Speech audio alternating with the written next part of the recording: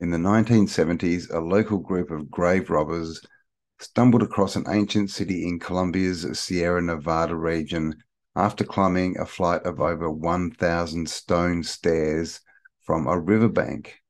The remarkable city had lain buried under dense vegetation for many centuries before intensive archaeological work uncovered more than 200 structures, including houses, plazas, ceremonial and feasting areas, canals up on a mountain, by the way, these canals, and in a mountain range.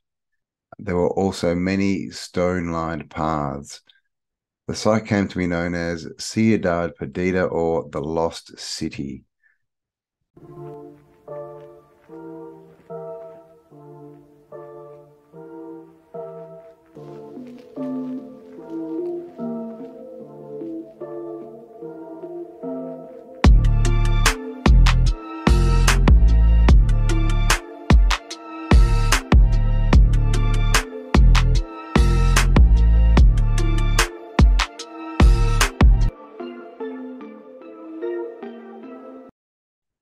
One of the highest and most ecologically diverse coastal mountain regions on Earth, the Sierra Nevada mountains in northern Colombia rise to an altitude of approximately 19,000 feet. Here, the Tairona people built over 200 distinct settlements from rammed earth and intricately cut masonry. The most extensive, Ciudad Perdida, grew to more than 250 buildings that formed the center of political, economical, and social life until the Tairona civilization disappeared mysteriously in the 16th century. Hidden by thick jungle for over 400 years, this magnificent lost city was rediscovered in 1975 under the direction of the Global Heritage Fund.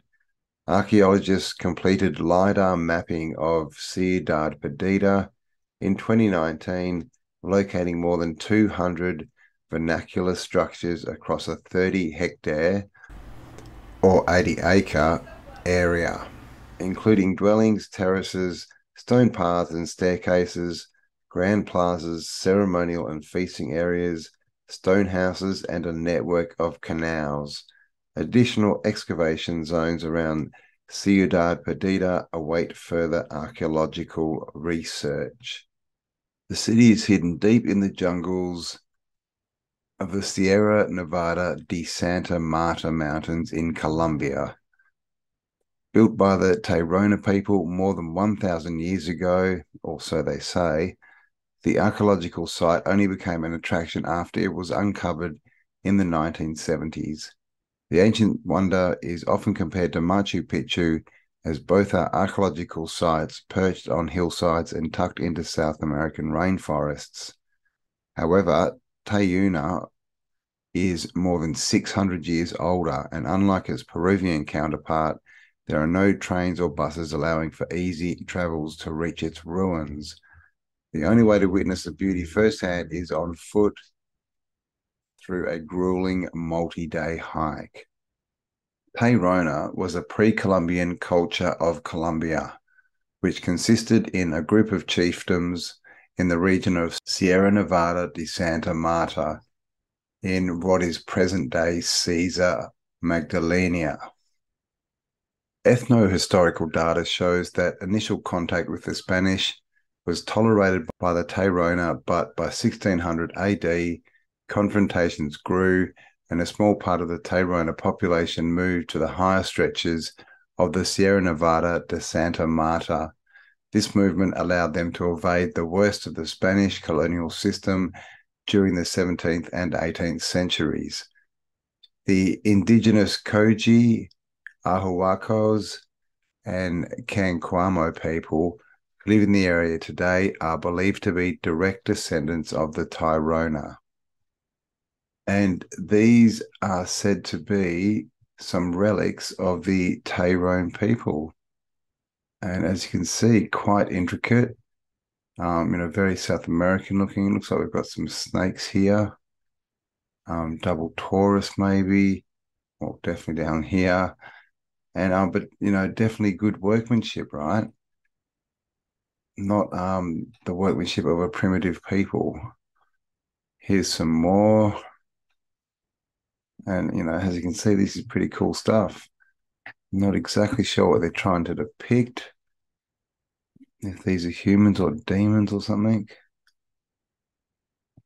But again, this is from an advanced society, right? These people are building big, you know, masonry, um, you know, what are they, forts or holds or growing centers on the tops of mountains, and then producing this intricate jewelry and um, artwork. But again, we're always told these people are just these primitive people with no tools, no technology, but every time they they seem to pop out these amazing buildings and artwork. And that's it. There's not really a lot on this site, uh, but we can see it's a it's a huge site. It's built on a mountaintop. It has canals, has a massive amount of stone infrastructure that's again had to been taken up this mountain uh, before it was set in place and saying it was built over a thousand years ago, and Machu Picchu, which is, you know, very, very similar, they're saying is 600 years apart. And then, of course, you know, none of this technology, we're told, was supposed to exist at all in the Americas back a thousand years ago or 650 years ago. They shouldn't have had the technology to, to construct these forts or these you know, whatever they are up on mountaintops. It doesn't make any sense. Okay, so I thought we'd just have a quick look on Google Earth. Here we are. This is Colombia below us. And you can see this is just a huge mountain range. And over here we have Ciudad Perdida. And you'll see this is quite a big infrastructure. It's not just a little one-off um, platform, and and as you can see, it's on a mountaintop, so it's all built in platforms. But this is the top, and it just keeps going down the mountain here, all this way down to the bottom. And even over here, we have more infrastructure that's being built. This is a little village um, you know, with grass huts, you know, of course, right? Well, actually, let's have a look because this this is what they want us to believe is that these people in the grass huts who live in these and build these as their houses, that these people are the ancestors of the people who built the stone fort on the hill, the stone fort. And they try and tell us you know, it's made of, you know, mud as well, like mud brick. Uh, but clearly it's not. Because if we go down there, you'll see it's just all uh, stone in the middle of the tropics as well. But here you go. So there's no mud brick here. There's no mud construction. This is, I mean, you know, mud in the middle of the bricks look at this. This is just all complete stone construction. And you can see that they're not huge megaliths, but they're big stones. You know, if you've got to bring every one of these up the mountainside, and, and the story, of course, has to be, you know, if we're talking the, the uh, mainstream narrative, um, it has to be that people brought them up on their backs, right? There were no horses here. Maybe they're going to say they used llamas. I don't know but they didn't really have pack animals that you know in South America. Uh, they had the llamas, and that was about it. Well, and the alpacas.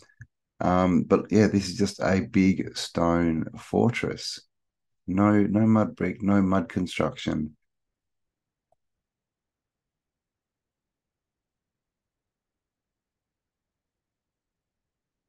And as you can see, the whole thing, the whole way down, just thousands and thousands of these rocks have been brought up, right, to construct this and then laid perfectly, so perfectly that this thing they're telling us is still sitting here a thousand years later. In you know the walls and everything are in pretty much perfect condition. Look at this edge here, a thousand years old, holding back all this dirt. All right, all these paths still flat. As we heard, um, when they discovered it, they found a thousand step staircase made out of stone that was fine. They walked, walked the whole thing. Okay, but made by primitive people who um, had nothing, just ran around in the jungle, uh, but decided to build this huge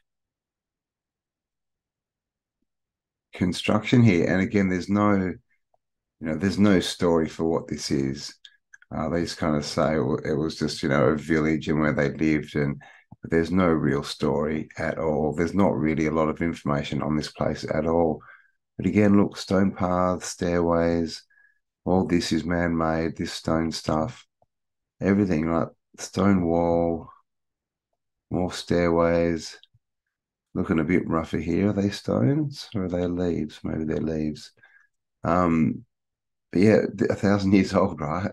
And look at the jungle encroaching on it, and it's still sitting there fine.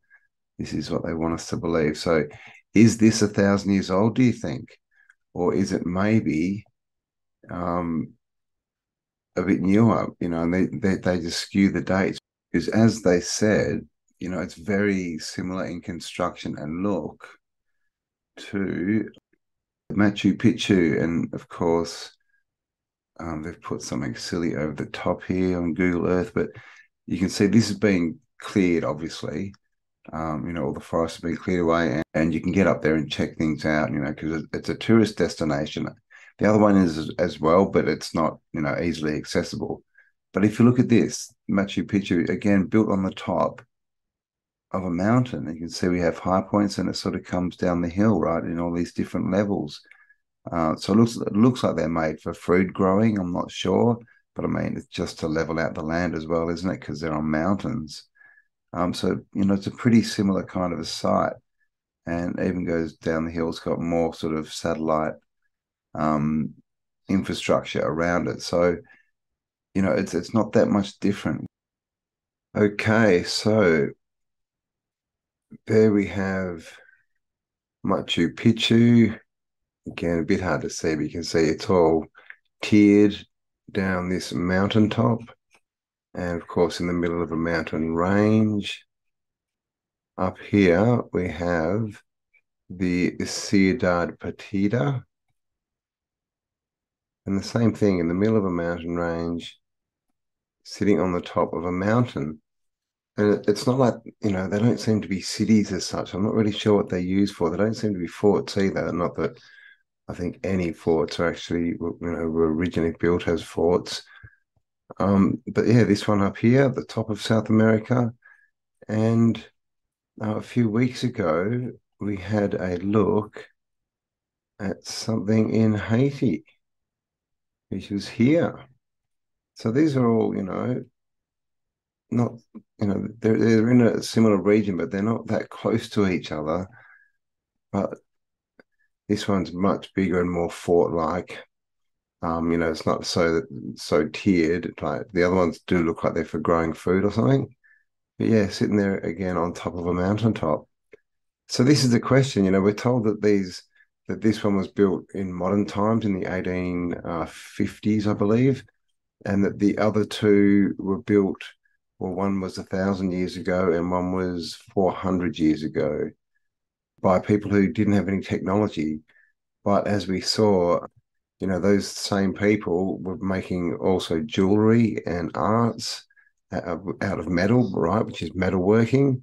Uh, but also now, you know, their descendants are living in grass huts, apparently. You know, they tell us that they're the descendants, but then they tell us that they don't know, you know, when this was built and they only think that, that this, you know, great, um, that this group of people built it you know, so nothing's cemented, and they don't tell us how it was built, how any how any of this was done, because they can't. It doesn't make a lot of sense, you know. And it's the same thing, right? Everywhere we see it, um, we seem to be devolving, not evolving. So, what do you think? Do you think that that was built a thousand years ago by uh, people with, you know, not much technology, hauling rocks up mountains? or do you think it was built um, by a more technologically advanced civilization for a different reason? Or is there another reason that you think it was built?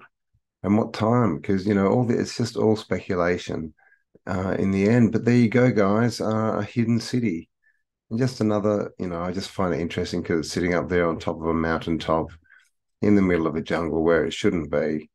And clearly, you know, built with tech above their above their means, you know, of what the historical narrative tells us. So there you go. Thanks for uh, joining me. Hope you enjoyed that one. Please give me a like, subscribe, um, leave me a comment, share the video, all that good stuff. And I will talk to you all on the next upload. Bye for now.